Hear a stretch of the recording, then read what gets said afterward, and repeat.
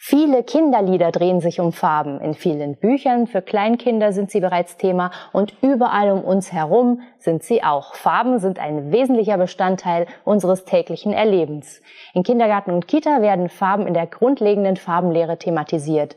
Einen Überblick dazu und Ideen, wie ihr Farben spielerisch mit euren Kindern behandeln könnt, erfahrt ihr jetzt im Video. Die grundlegende Farbenlehre ist fester Bestandteil der pädagogischen Arbeit in Kindergarten und Kita. Dazu gehört zum einen, die Farben zu erkennen und zu wissen, wie sie heißen und dann zu lernen, was passiert, wenn man die Farben untereinander mischt. Dabei könnt ihr mit euren Kindern die alltägliche Umgebung genau anschauen.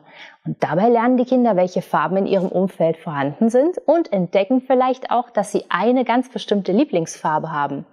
Im Gespräch können Sie dann feststellen, dass nicht jeder die gleiche Farbe genauso schön findet und nicht jeder die gleiche Lieblingsfarbe hat. Und das ist vollkommen okay. Kleine Spiele, Bastelarbeiten und weitere pädagogische Angebote im Elementarbereich ergänzen die Beobachtungen und Gespräche rund um die Welt der Farben. Als erstes werden die drei Grundfarben Rot, Gelb und Blau mit den Kindern besprochen. Die werden dann um die Mischfarben, also die Sekundär- und die Tertiärfarben erweitert. Ganz allgemein kann man sagen, das Farbspektrum des Regenbogens ist eine gute Grundlage für die Farbenlehre in Kindergarten und Kita. Schon Säuglinge in den allerersten Monaten sind in der Lage, Farben zu erkennen, vor allem die rote Farbe. Ob Kinder Farben bestimmen und benennen können, hängt stark damit zusammen, wie gut sie schon sprechen können. Viele Kinder beginnen so ungefähr mit zwei Jahren damit, Farben zu benennen. Den verschiedenen Farben werden unterschiedliche psychologische Effekte zugeschrieben. Die könnt ihr auch zum Beispiel für eure Raumgestaltung nutzen. Rot wirkt anregend, blau dagegen wirkt eher beruhigend. Auch bei den Nahrungsmitteln haben Farben bestimmte Bedeutungen. Ein Beispiel, wenn die Himbeere grün ist, dann ist sie noch nicht reif, schmeckt also noch nicht lecker. Ist sie schon schön rot, dann kann man sie essen mit Genuss. Für die Farbenlehre in Kindergarten und Kita bieten sich beispielsweise Sortierspiele an. Die Kinder betrachten dabei die Gegenstände ganz genau und sortieren sie dann den verschiedenen Farben und Farbgruppen zu. Das hilft, um den erstmal abstrakten Farbbegriff in das Leben und die Erfahrungswelt der Kinder zu integrieren. Bewegungsspiele und Mitmachlieder sind auch gut geeignet und sie bieten meistens auch noch mehr Informationen zu den einzelnen Farben. Durch den wiederholenden Charakter, den die Lieder haben, prägen sich die Informationen und die Farben noch besser ein als durch reines Erzählen und äh, Berichten. So kann man zum Beispiel die Farben mit typischen Berufen verknüpfen. Also der Jäger ist grün angezogen, der Feuerwehrmann rot und so weiter. Ich habe jetzt ein paar Ideen für euch, wie ihr das Thema Farben spielerisch mit euren Kindern angehen könnt. Zum ersten, mischt die Farben mit transparenten Bausteinen. Wie sieht die Welt durch einen gelben Stein aus? Und wie durch einen blauen? Und was passiert, wenn man die beide hintereinander hält und dann durchschaut?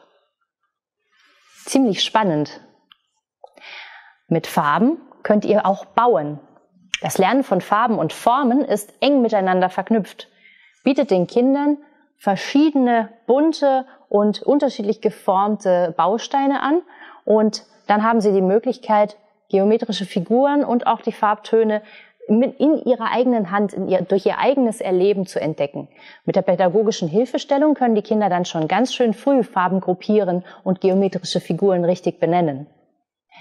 Ihr könnt auch die Farben durch die Kinder sortieren lassen. Zuerst sammeln sie verschiedene Gegenstände, die im Gruppenraum zu finden sind, bringen die dann alle her und dann habt ihr entweder solch einen Farbkreis oder ihr nehmt einfach verschiedene Körbe, ähm, an denen ihr dann die entsprechende Farbe gut sichtbar befestigt. Also einfach entweder draufmalen oder ausdrucken, einlaminierte ähm, Kleckse oder was auch immer ihr dann da machen wollt. Auf jeden Fall, die Farbe sollte gut zu erkennen sein und die Kinder können dann die entsprechend gefundenen Gegenstände zuordnen. Und das, wenn man dann einige gefunden hat, dann finde ich, sieht das auch sehr, sehr hübsch aus und äh, bietet natürlich eine gute Grundlage, um das Farbthema dann weiter zu vertiefen oder auch auf einzelne Farben einzugehen. Der Farbkreis nach Itten bietet eine übersichtliche Einteilung der Grundfarben, also Rot, Gelb und Blau, der Sekundärfarben Orange, Grün und Violett und der Tertiärfarben Blau-Grün, Blau-Violett, Purpurrot, Orange-Rot, Dunkelgelb und Hellgrün. Der Farbkreis besteht aus den drei Grundfarben in der Mitte und drumherum sind neun weitere Mischfarben angeordnet Und äh, diesen Farbkreis könnt ihr prima als Basis für eure Malprojekte und für kleine Experimente rund um das Mischen von Farben nutzen. Welche Farben entstehen zum Beispiel, wenn man die Grundfarben mischt? Und wie verändern sie sich, wenn man sie mit einer Sekundärfarbe mischt? Und warum wird am Ende des Ganzen eigentlich immer alles braun? Jetzt habe ich zwei Spielideen als Gratis-Download für euch. Die Links findet ihr wie immer in der Videobeschreibung. Das erste ist ein Farbenspiel mit verschiedenen einzelnen Karten. Die könnt ihr ausdrucken, ausschneiden und laminieren, dann halten sie länger. Und es geht darum, je nachdem, welche Karte gezogen wird, müssen die Kinder unterschiedliche Dinge tun. Also zum Beispiel bei Blau steht jetzt hier einen Turm nur aus blauen Bausteinen bauen und so weiter. Ganz unterschiedliche Sachen. Also es gibt auch verschiedene Bewegungen, die die Kinder noch machen sollen. Das ist eigentlich echt richtig lustig. Und die andere Idee ist eine Idee für das Aktionstablett. Er druckt es aus, könnt es auch wieder gerne laminieren, damit es länger hält. Und ähm, dann braucht ihr noch kleine Wäscheklammern, die ihr dann in den passenden Farben hier zu den Käfern bemalt. Und dann legt ihr einfach den, die laminierte Vorlage mit den Wäscheklammern aufs Aktionstablett und die Aufgabe der Kinder ist es dann, ähm, die Klammern farblich passend zu den Käfern und zu den Herzen und den Smileys hinzusortieren und festzuklemmen. Zum Schluss noch zwei Bastelideen, bei denen die Kinder mit Farben arbeiten können. Einmal für U3 bunte Vögel, die ihr aus Papier-Muffinförmchen machen könnt. Als erstes braucht ihr natürlich Papier-Muffinförmchen, dann braucht ihr Hintergrundpapier, bunte Wachsstifte oder Fingerfarben und einen Klebestift. In der Vorbereitung klebt ihr die Muffinförmchen flach auf das Papier drauf und dann dürfen die Kinder die Muffinförmchen nach Herzenslust ganz kunterbunt anmalen. Ihr macht es dann fertig, nachdem die Muffinförmchen getrocknet sind. Wenn ihr Fingerfarben benutzt habt, bei Wachsmalfarben könnt ihr natürlich dann gleich weitermachen. Schneidet die Muffinförmchen aus, halbiert sie und die Halbkreise klebt ihr dann auf ein DIN A4-Blatt, so wie ihr es hier seht, mit dem dicken Bauch nach unten. Und dann malt ihr ihnen noch Schnabel, Augen und Füße an. Wenn die Kinder schon ein bisschen größer sind, dann könnt ihr natürlich die Muffinform auch vor dem Bemalen schon aufkleben und die Kinder malen sie dann an und ergänzen dann äh, die Augen, Schnabel und Beine, so wie sie sich das vorstellen.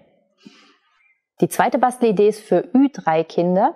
Käfer aus Papptellern. Dafür braucht ihr natürlich Pappteller, einen schwarzen Filzstift, bunte Papierreste, schwarzes Tonpapier, einen Klebestift und, wenn ihr möchtet, Pfeifenputzer für die Fühler.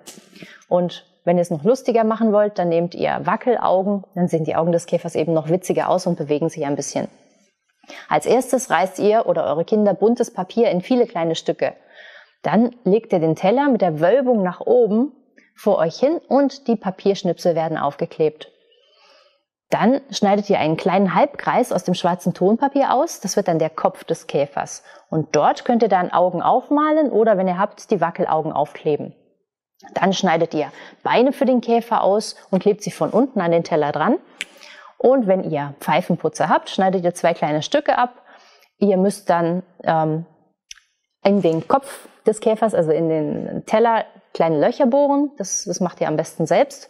Und dann können eben die Pfeifenputzer durchgesteckt werden, unten dann nochmal umgebogen und dann hält das Ganze schön und schon fertig ist euer wunderbarer Käfer aus einem Pappteller.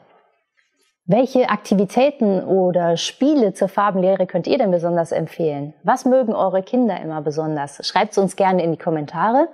Spielideen und Bastelanleitungen findet ihr natürlich in der Videobeschreibung wie immer. Lasst uns gerne einen Daumen nach oben da und äh, abonniert den Kanal, wenn ihr es nicht eh schon gemacht habt. Ansonsten bleibt mir nur zu sagen, bleibt gesund, bleibt fröhlich. Wir sehen uns bald.